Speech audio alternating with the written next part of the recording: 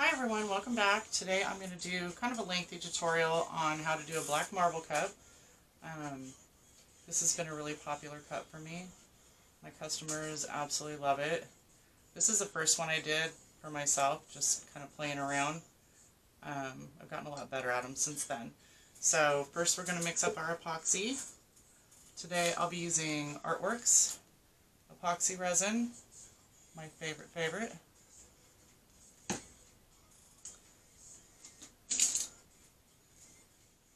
So for this cup, I usually mix about 60 ml, 30 of part A, 30 of part B, um, which is way more than you're going to need, um, but I'd rather have too much than run out. Um, so I just take the leftovers and do um, cute little molds with them. So I already have my my uh, part B in there, and part A I'm just going to warm up a little. With Artworks, it's a little bit of a, a thicker consistency so I go ahead and just warm it up enough to make it just a little bit runny. It helps with bubbles.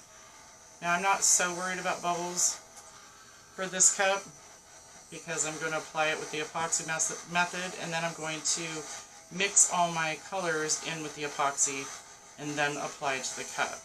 So I'm not really worried about the bubbles right now. I'm a bit of a fast mixer so I do get a lot of bubbles.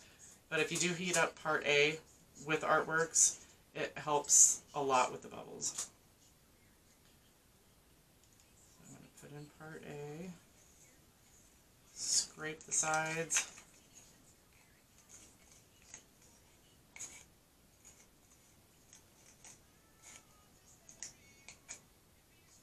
Scrape the bottom, get as much as I can out of both cups. And now I'm just going to mix for, oh, about two to three minutes.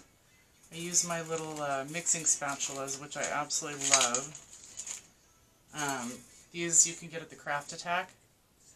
Um, same with the Artworks epoxy. I'm just going to mix this really slow.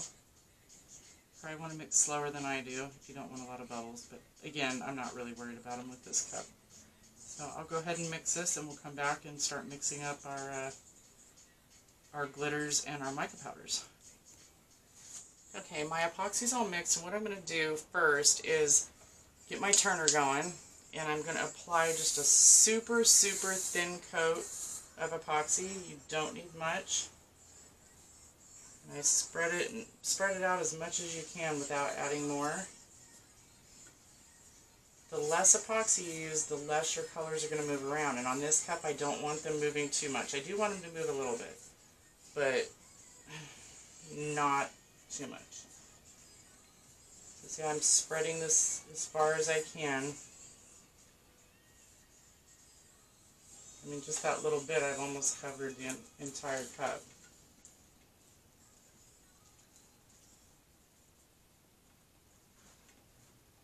Okay, I think I got it. I'm just going to take a tiny little bit and put it on the bottom.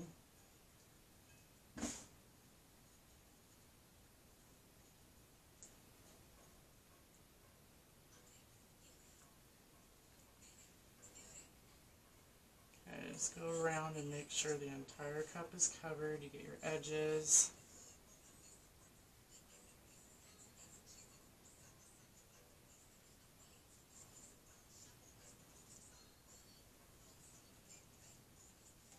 Alright, that's pretty good.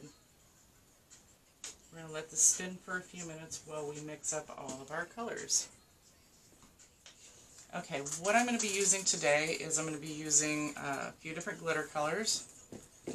We got glitters and mica powders um, and a little bit of Alumilite dye, uh, epoxy dye.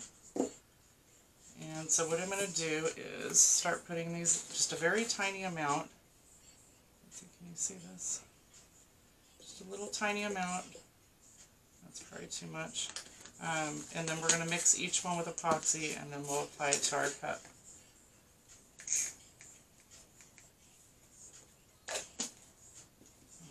just put those aside when I'm done with them.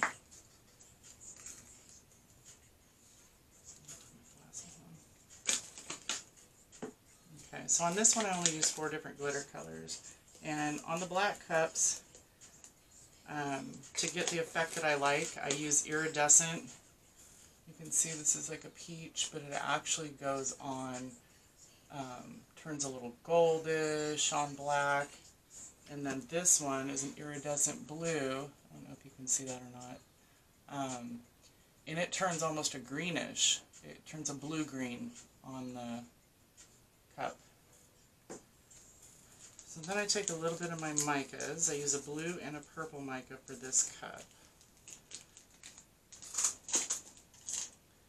Just take my little mica spoon and I just do one little scoop. Doesn't even have to be a big scoop. You can see that. And I just put it in the cup. And then I do the purple.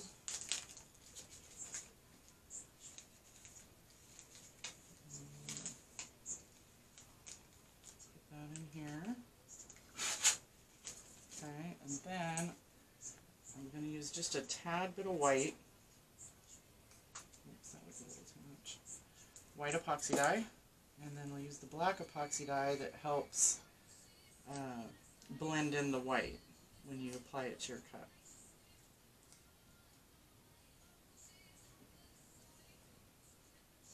Alright.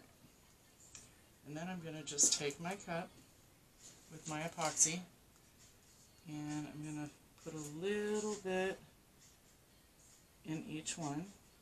Don't don't need much for the micas. Um, the, the fine glitter, you need a little bit more, and then with the chunky glitters, you're going to need quite a bit more. My chunky glitters, my epoxy dye. Um, you only need a little bit of white, but we're going to need more black for blending. And then you just mix each one up.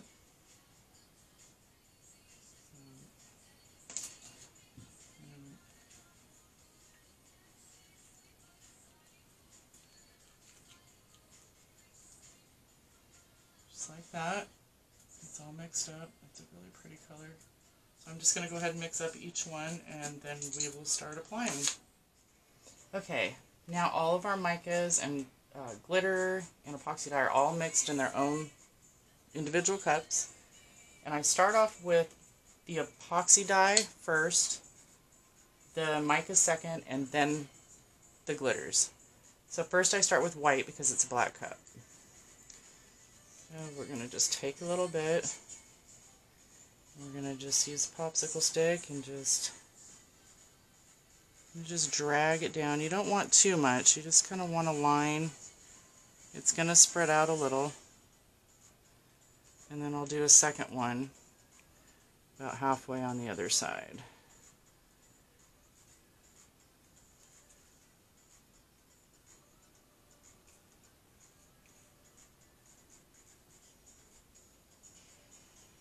And then bring it kind of down on the bottom.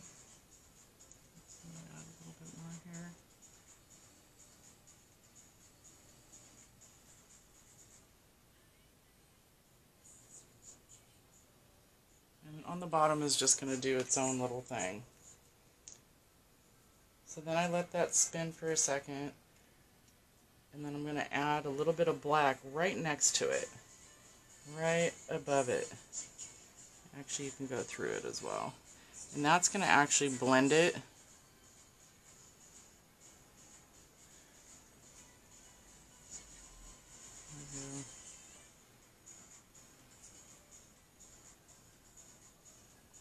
really no wrong or right way to do these. Um, they just all seem to turn out pretty neat. And then you just kind of let it turn and come back to you when you need to get to another spot. Now then I take a cute or a popsicle stick that doesn't have anything on it and I'll drag some of that black back up here because the white's kind of thick right there.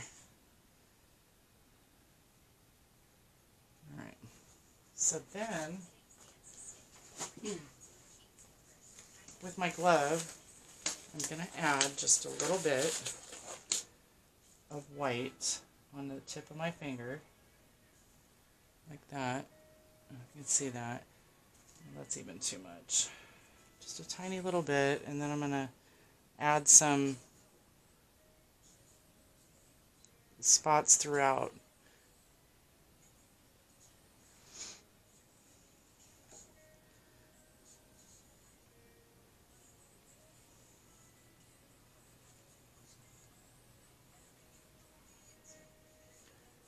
Take the spots that I already went in and just kind of, not in a straight line necessarily, I, I like mine to have a little bit of shape.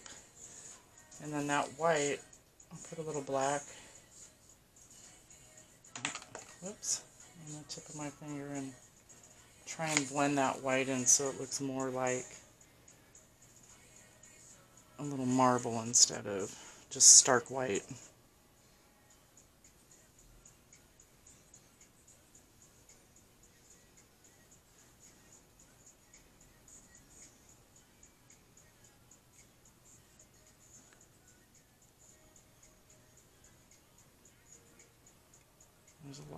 In this one.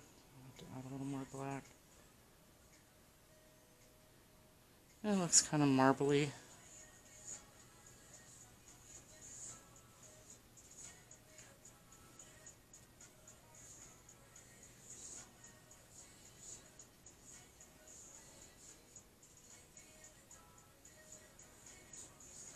Add a little more, couple white spots in there to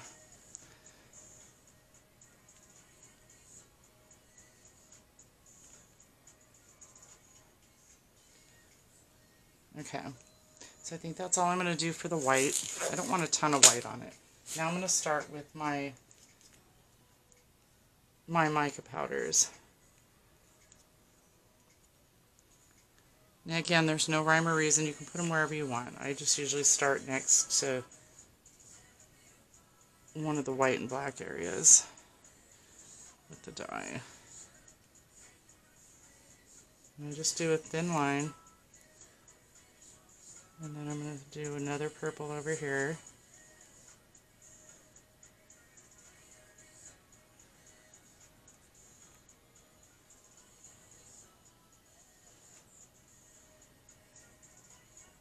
You can go over. It's not going to hurt anything if you go over the epoxy dye either. It's all going to kind of blend a little bit. They're not going to move a ton, but you do want it to move a little bit. It gives it that little, that free form look.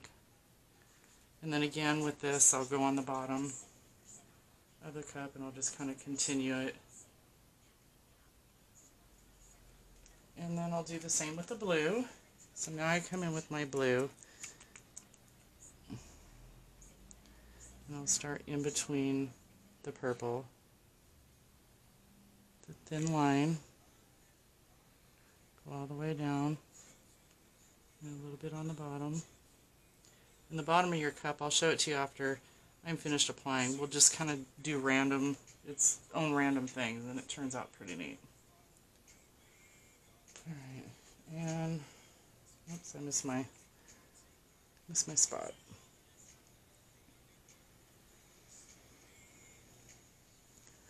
I'm going to add a little more blue.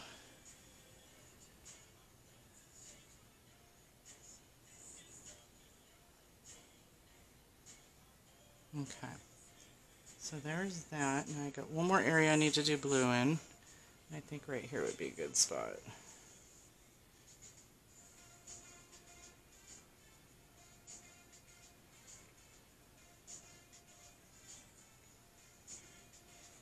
And again, I'm going to bring it down to the bottom and let it do its thing.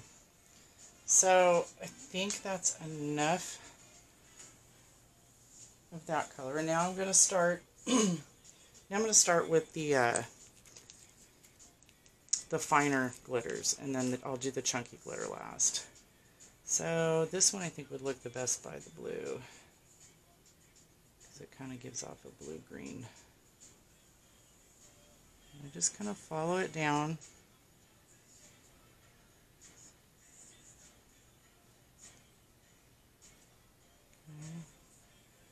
Go next to the blue over here. And these can go in any order you want. This is just, I don't even think I keep it in the same order every time. They all come out different, and that's what's kind of cool about them. Again, bring the glitter down on the bottom, just kind of follow out from where you started. And then I'm going to take this, this color right here, which is really pretty. And this is the one that's going to give off that cool bluish green. So I'm going to put that over by the purple. Kind of not right up against it.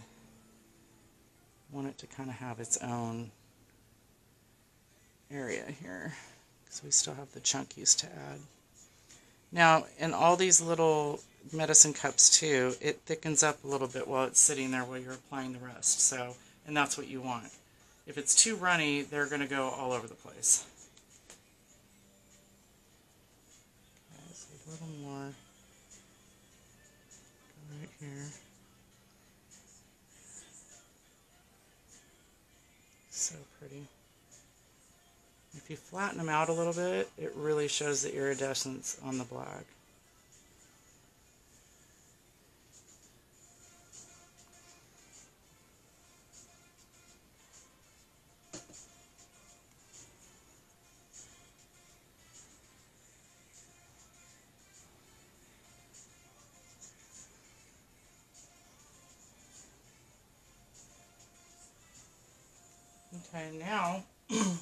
I'm going to go and apply my chunky glitters. So this is a really pretty color. And this one will go along the purple, and then the other one I'm going to go along the blue. So this one I'm going to start here next to the purple. Now this is a little chunkier, and you don't need as much. And you want to spread it out and flatten it, because when you go to epoxy over it, they'll be sticking up if you don't. And it doesn't matter what side it goes on, it can just kind of go wherever you want it. I'm going to put a little bit on the bottom as well.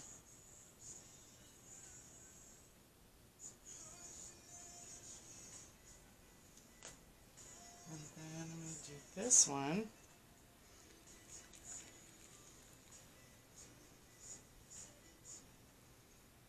On this side. Um, let's see. I think I'll go right here.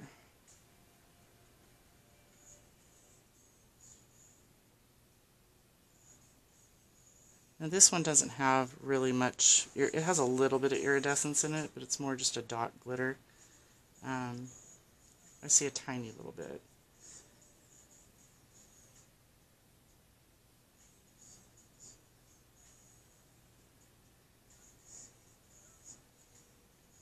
I do leave a little bit of room, like you noticed right here, because that's where the name will go. I'll do, do the decal right there. so I'm just going to go through and smooth out some of these things.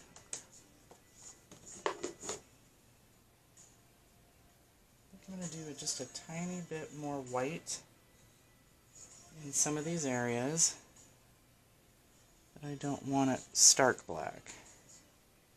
Just do like a little bit on the edge of your popsicle stick and just do a thin line.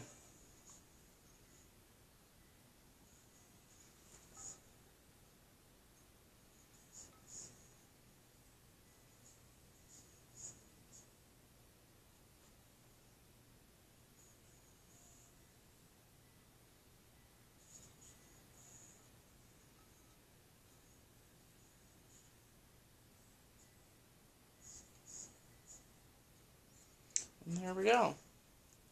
I think that's about it. I'm just going to let it spin for about four hours and then I will put a, um, oh, what do you call it? Um, I'll put a flood coat on and that way I can, it'll be all ready tomorrow morning to do my decal. So I will post a, a final picture when I'm all done. Thanks for watching and I hope you enjoyed this video and we'll see you next time.